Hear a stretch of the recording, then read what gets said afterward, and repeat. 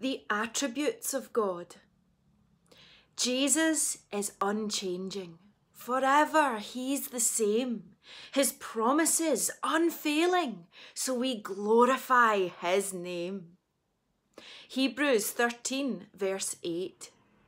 Jesus Christ is the same yesterday, today, and forever.